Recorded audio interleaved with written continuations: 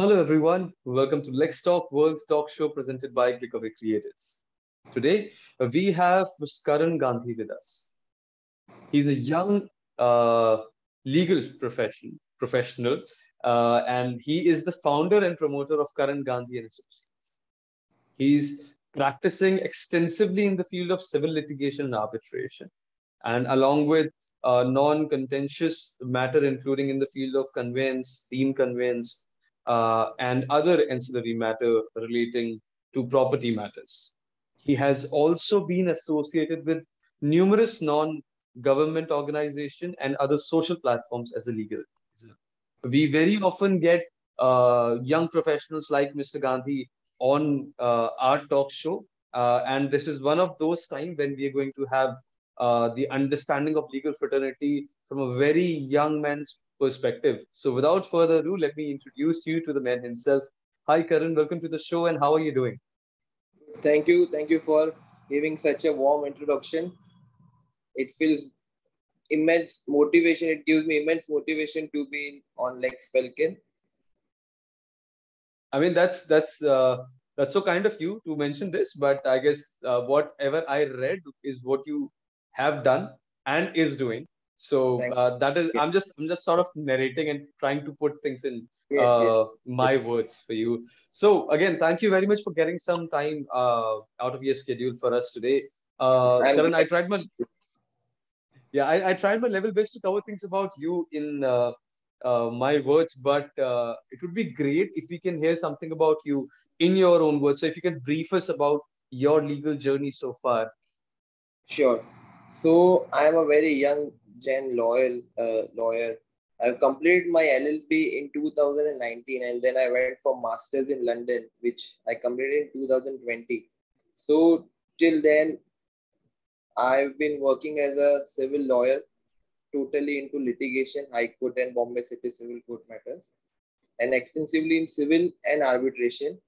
And fortunately, I have been getting very positive response from my client and as well as from the court. I have been I've dealt with almost 15 to 20 matters till now in High Court, and almost 50% of them are decreed in the consent term in my favor, and some are ongoing, which are again in my favor, hopefully.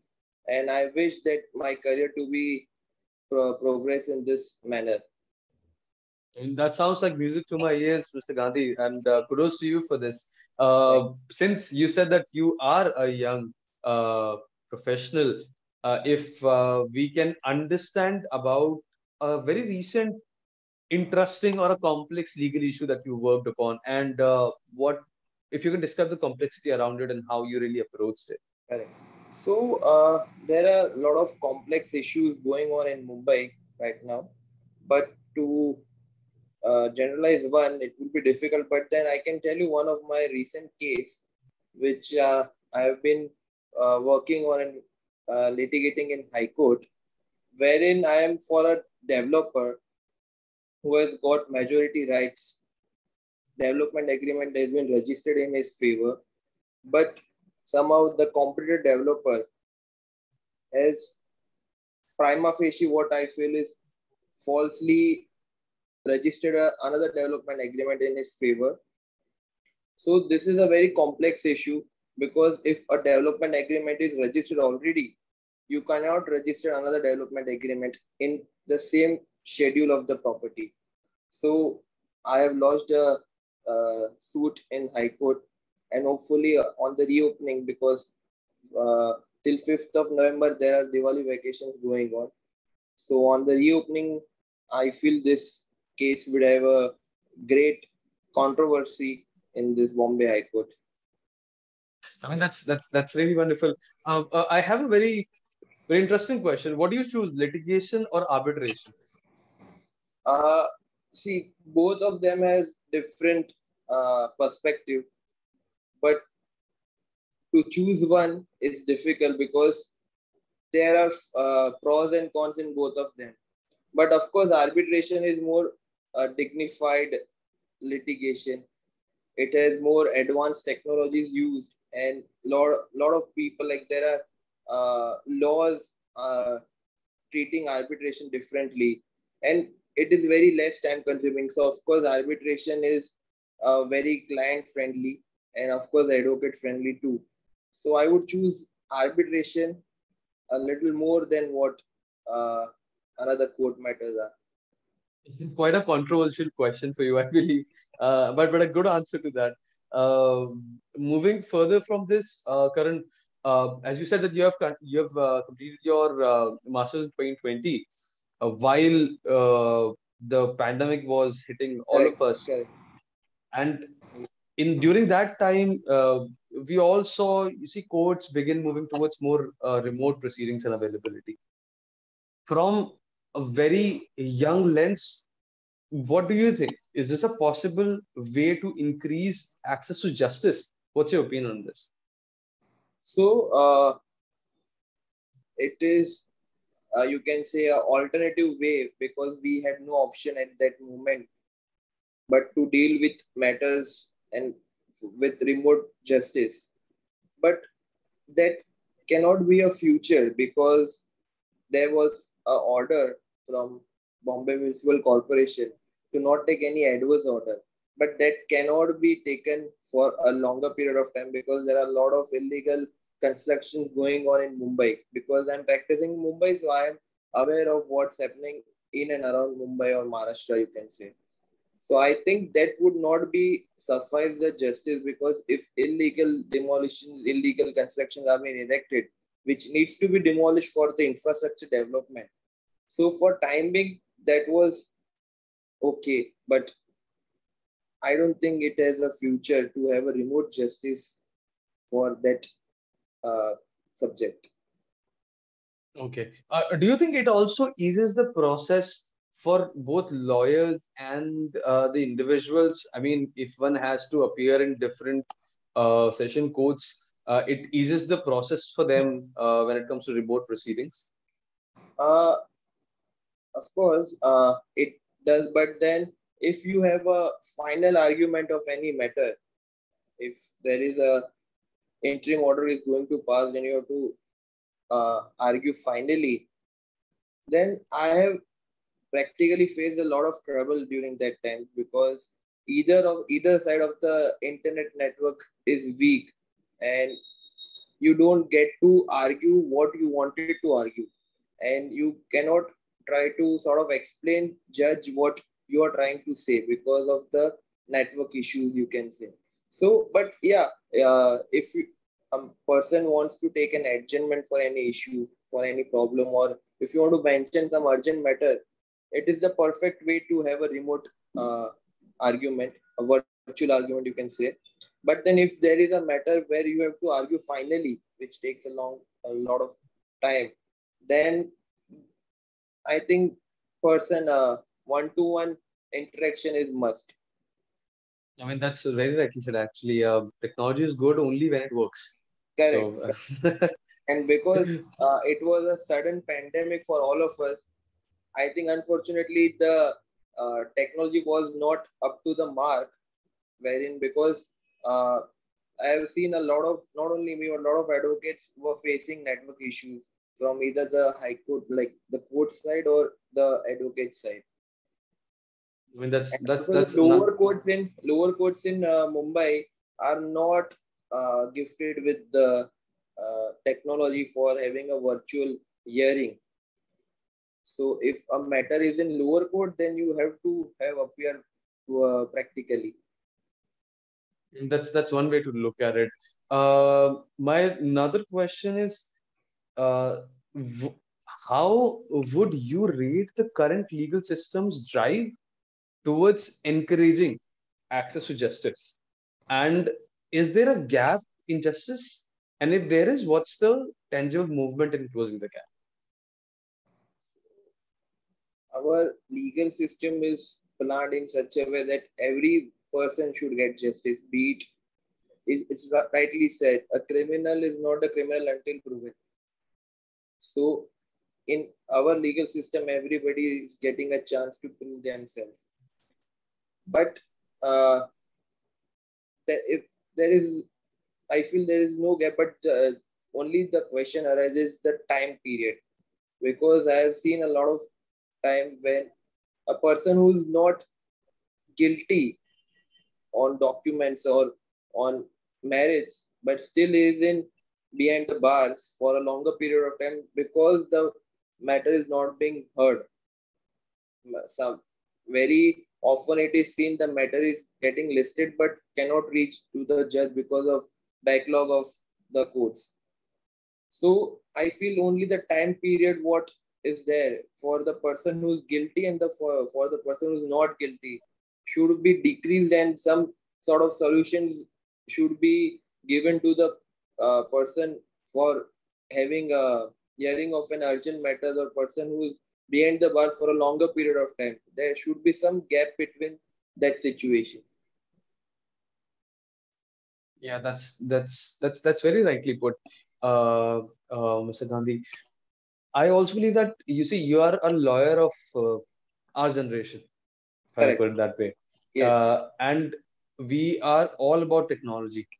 Yes. And in the era of legal technology, which ironically came along with pandemic, and we are standing in the middle of uh, the legal tech era, I assume that you are using, you must be using a lot of uh, tools, the legal tech tools. Uh, and if you are, what are the what are those uh, co- most commonly used tools for you to ease the process? So I would say you you might be aware the brief of a litigant lawyer who is practicing any court is almost four to five kilos in weight. So I've been using this uh, Surface, HP Surface, which is like a laptop, wherein you can get all your data and all your uh, papers in the relevant matters in uh, soft copy and when you go for an argument you just have to take your surface and you can mark you can do you can circle any important points you can directly go to that page where you want to argue or where you want to show uh, the lordship or the judge so i'm using this surface which is very techno friendly and which is very useful because i i don't have to turn around the pages each and every time when uh, judge asks ask any question or if I want to say something to the judge. So this is very techno friendly. You can just go to, you can bookmark a page. You can just go to and you can search any word or any page you wanted to uh, read out before the judge. So I'm using that uh, uh, surface of HP. Uh, so that is very mm-hmm. techno friendly. Also, now the time has come where everything is can be done uh, via emails so I have advised all my juniors and all my staff to have a soft copy as well as hard copy. Sometimes if my surface is not working, I have the option of hard copy, hard papers. But most of the time I'm using this surface wherein I get all the papers of that particular matters on my surface and I can get all the annexes to plus the judgments which I wanted to uh, put it before judge on my one device, which is hardly a kilo in weight. So I don't have to carry the papers each and every time I have to go before the judge for an argument. Mm-hmm. Mm-hmm. Are there any other software tools that you are using? Uh, not really, but I am using, of course, I have my own uh, website as well. But most of the time, I use a Gmail website because you get a Google uh, storage on the Gmail wherein you can store any number of data on the on my email ID. So which is very useful for me to even if sometimes happens that if my junior wants to go for uh, mentioning or wants to take any adjournment, they just have to open their email ID and they get all the papers on their email address. Mm-hmm. Mm-hmm. Okay, fair enough. Fair enough.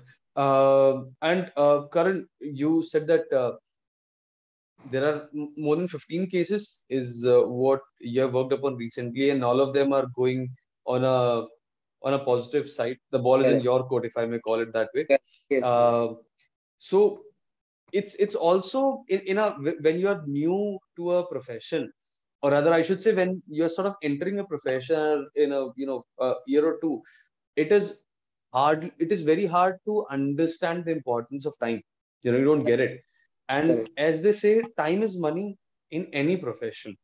And in legal, it's most of all. Correct. So, how do you ensure to make the best of your time as a lawyer? Uh, to be very honest, uh, practically in Mumbai, it's very difficult to manage time because of traffic.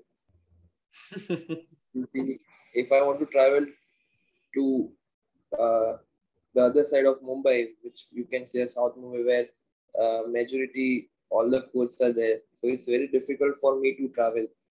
But then I I keep my schedule in a way where I have practically kept my schedule in a way that Monday to Thursday is only for courts and my client meeting, which I have another office in town where between the High Court and City Court.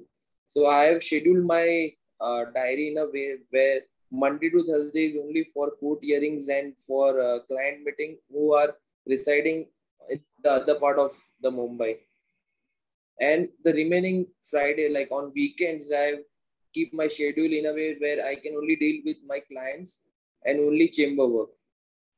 So it's of course it's very difficult to uh, manage my timings. But then i i have already advised my juniors to take the dates of the court between monday to thursday so that the my chamber work which i which i do on weekends doesn't get hampered that's that's a fair approach. Being in a play, being in a city that never sleeps. So yeah. uh, that's that's that's that's really wonderful, uh, Karan. And so far, this has been a lovely session. Uh, my last question to you is: Where can our viewers find you to get a hold of you? Uh, so uh, my office is in suburb in Mumbai.